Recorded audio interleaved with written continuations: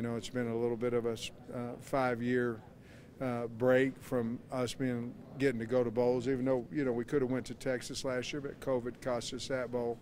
Very honored. I know our team and our state is going to be very excited to get down here to Tampa.